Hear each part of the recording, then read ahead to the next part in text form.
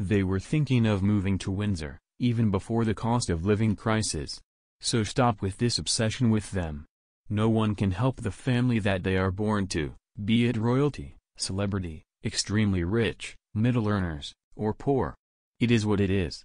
We have a pandemic that didn't help our situation, now we have the war in Ukraine that doesn't help the situation. Then you have those that don't pay the proper taxes in this country, which by all accounts is legal. Then those companies charge the earth so that they can pay their investors a profit. Why isn't this being discussed and investigated by journalists etc.? Why is it that let's put William down because he wants to move house? People move house every day, when are you going to go after those people as well? The Duke and Duchess of Cambridge are escaping the Goldfish Bowl of Kensington Palace for Adelaide Cottage in Windsor's home park in a bid to put their children first and give them more freedom. But royal commentator Richard Kay claimed the move was a rare misstep by William and Kate amid the cost of living crisis crippling the nation.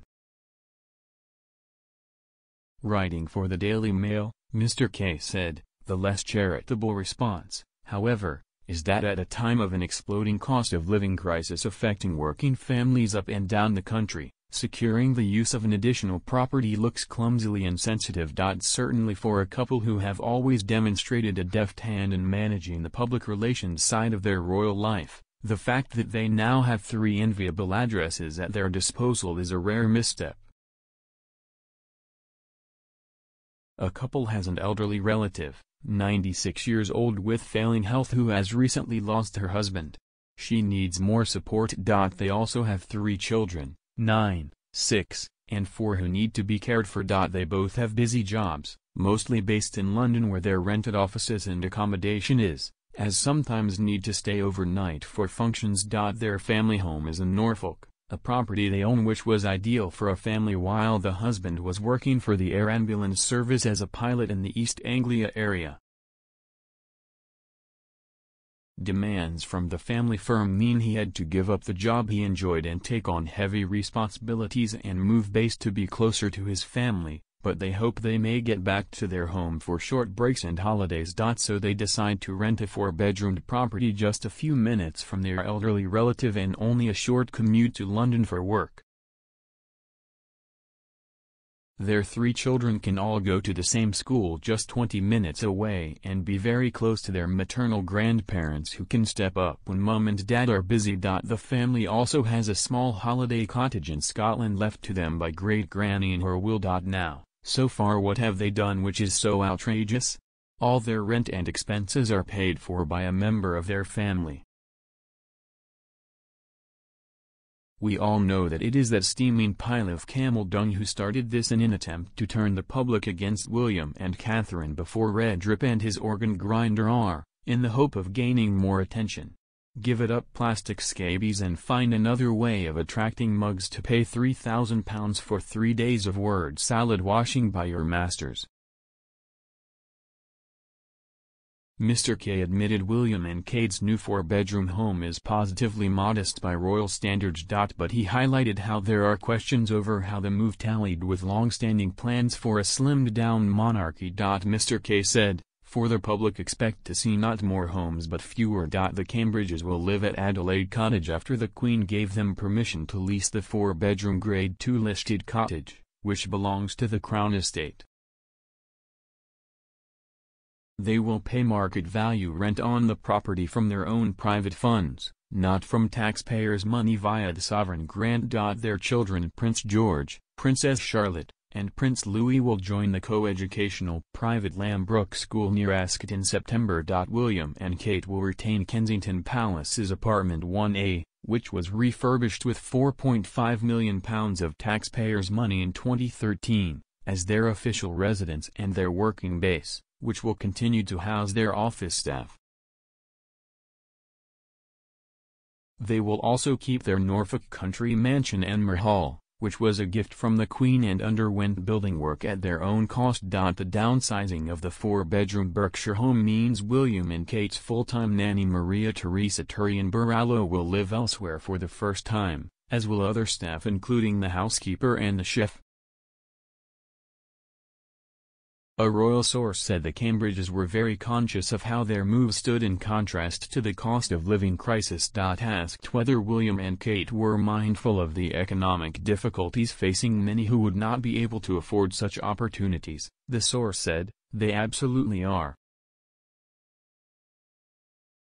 It's something they have thought long and hard about and this is a decision they have not taken lightly. It would have been extremely difficult for them to continue on as senior working royals if they were based in Norfolk. What they have basically done allows them to put the kids first, but also to continue on doing what they do all day, every day. The move means William and Kate will be closer to the Queen, who is mainly based at Windsor Castle.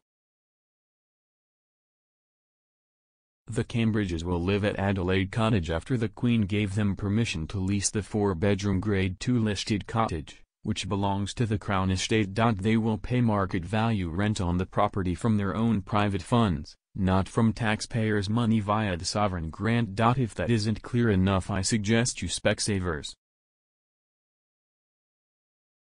The Cambridges are senior members of the RF and serve the Queen and the people of the UK. They have a young family and it makes sense to live closer to the school and at the same time, closer to the Queen and Kate's parents. We will do the same. As for KP, they are using it as their office and certainly would need a place to stay when they are in London to attend functions etc. makes sense.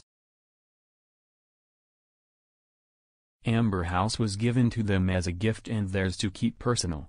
What they are doing is the same as any other busy businessman who has the means to upkeep all the properties. Whereas Harry and Meghan opted to leave the RF and his duties and to leave the UK and not serve the Queen or its people. Such a big difference. Oh crap, what does this Company Express do all day? Have people sit at desks and make up lies and gossip to get clickbait for money. Express knows darn well that the Cambridges are paying their own way and renting the cottage so that their children can have more freedom to be children without idiots prying into their lives. Neither William nor Catherine own any of the properties that they live in, and all the repairs on the KP were done because they were needed after not being repaired for over 60 years. Things break down people and even people break down. Give it a break here okay? None of us were born in a royal family, we had no choice in that when we were created did we? Just be darn glad it is not Harry and Meghan that are the heirs. Kensington is not only where they lived but the workplace for their staff who handle schedules, appearances, and things they are involved in like Earthshot. It functions as a site for the staff and formal meetings with people or organizations and a home. Kensington is part flats and cottages, part museum, and part government offices for the Crown. Adelaide at Windsor does mean the children can go out and play but is it still tied to work? The Queen, and thus BP staff and court, are now located at Windsor. They are now within a few minutes walk of his grandmother, Queen, and it is much easier to coordinate with the BP staff. How can anyone be faulted for moving closer to a 96-year-old grandmother? BTW they pay rent on both. And it is not as if anyone could lease those properties, both are on secure locations, guards, etc., and only a limited number of people can live at either site as they have to meet security requirements, typically members of the family or court staff, hardly places where the council could stick some single mother with five kids on benefits. Anmer is part of Sandringham, owned privately by the Queen. One day the whole thing will be Williams, goes from monarch to new monarch upon the death of the monarch, so what if the Queen gave him a small part of it early as a wedding present? The fourth is a cottage in Scotland left to William by his great-grandmother who bought it herself. What,